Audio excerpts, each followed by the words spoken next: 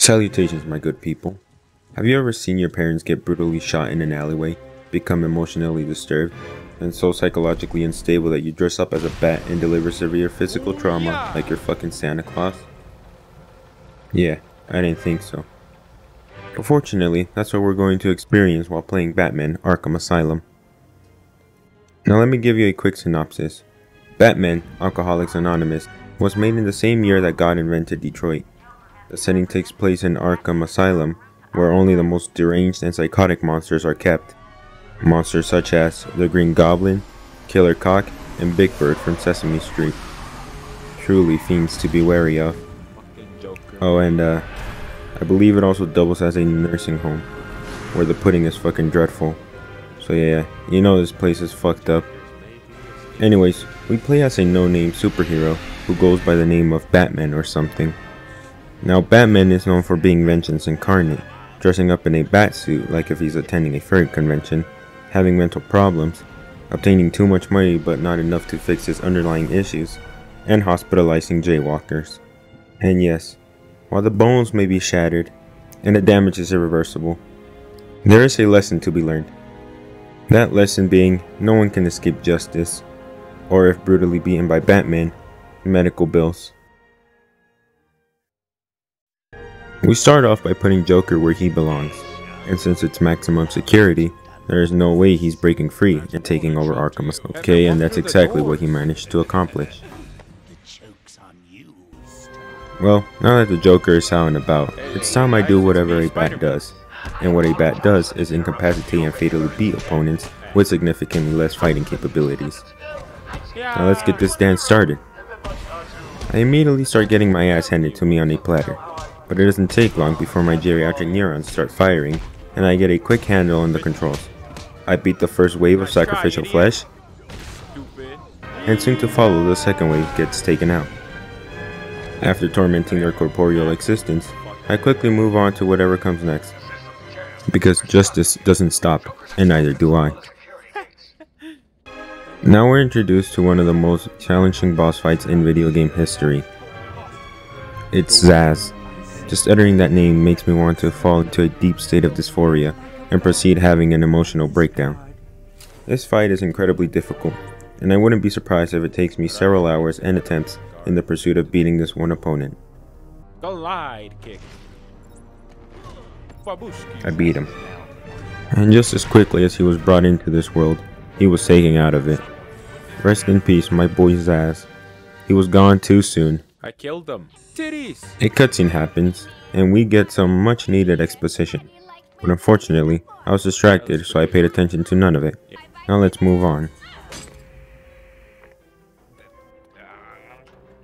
Alright, now this is when the going gets good. This is when our true prowess is tested. Utilizing our wits, strength, and detective aptitude to achieve and solve this problem. That's pure bat strength. There are three men currently dangling off, near death. One miscalculation and they fall into the Joker's ass gas. I of course immediately rescue the person furthest from me. Turns out, this man is a convict. Well, we're not a hero for nothing, so I decided to do the right thing and rescue him. After all, just because you're a villain doesn't mean you deserve to die. Oh! Never mind. With all three men rescued, we can now march forward, one fist at a time, and prevent Joker from taking over Detroit. While taking a nice stroll through Arkham Asylum, moving as fast as possible to make it to the next objective, I get ambushed by two flesh bags. I quickly turn their bones into paste and make them realize what true fear is. Yeah!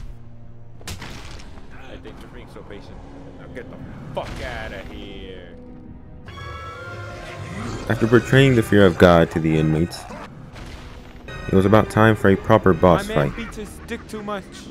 I fight what I believe is the true embodiment of an alpha male. I'm Topch. He throws a deceased officer at me, classic alpha move, but thanks to my supernatural reflexes, I am quick to evade the incoming attack. Having no other tactic, he decides to have a cardiac arrest and die. I'm Topchy. That was unexpected, wasn't it? Now it's time for another cutscene, but I'll spare you the details and give you a quick summary instead.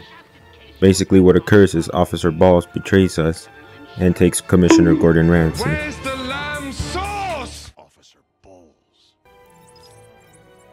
In order to save Gordon Ramsay, we need to find something that we can track Officer Balls with. Fortunately for us, he dropped his piss juice. Unfortunately for him, he'll soon have two shattered vertebrae. We follow the piss trail and land ourselves into another cutscene. How did Joker get? Be quiet. What's going on? I told you to shut the fuck up, dude. Ah, ah, ah, ah, B-Man. Mr. J doesn't want you following us Ah, just boner. Harley cuts the wires of the elevator and tells us not to follow her. No way you're following us now. so instinctively, I started following. We make our way to the top, leading us to the next event. We soon position ourselves in a rather engrossing, physically belligerent discourse. I, of course, unhesitantly abuse their existence until they're nothing except insipidly defunct cadavers. Ooh yeah. Take that! Stupid.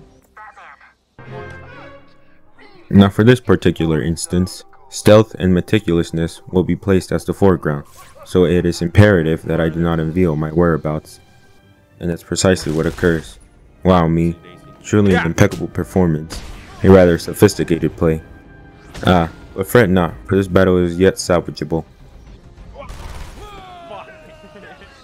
Oh, Oh, isn't that cute? Little bats are sleeping. Someone finish him off.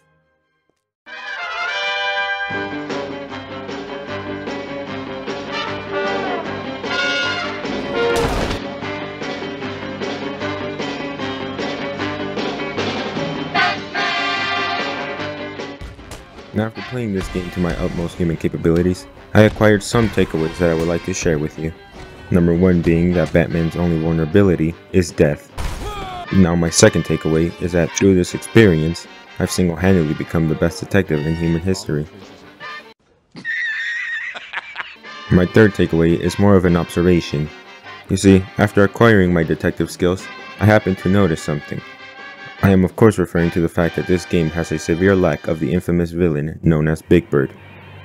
This is somewhat disappointing, but see I postulate that the sheer thought of adding someone as cruel and as sadistic as Big Bird was just too much of a terrifying burden for the developers to incorporate.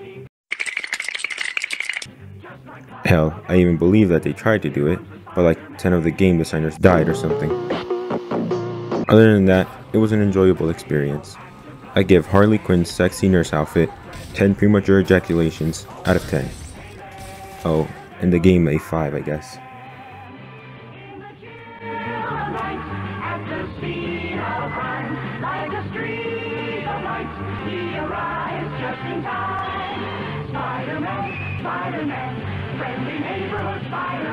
Guys, it's me, Spider-Man. Life is a great big bang. Wherever there's a hang, you'll find the Spider-Man.